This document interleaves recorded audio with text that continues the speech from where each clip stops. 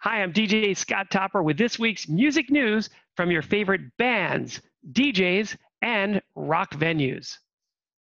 Bob Dylan is finding ways to keep busy during the pandemic. For the third time in a month, he dropped a new original song, False Prophet, and releases a new album, Rough and Rowdy Ways, June 19.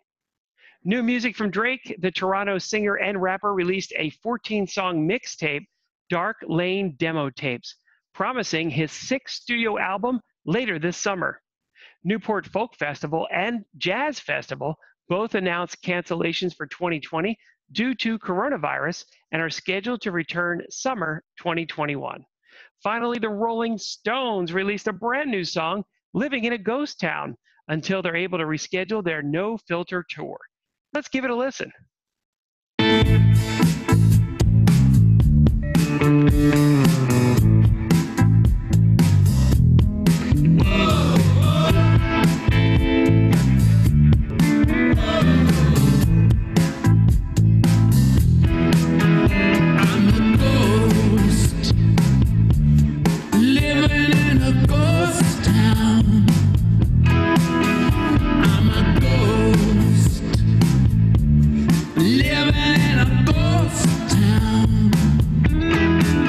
Now, that's their first original composition since two originals were recorded on their 2012 compilation album named Grrr.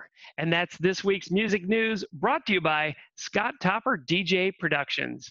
Until next time.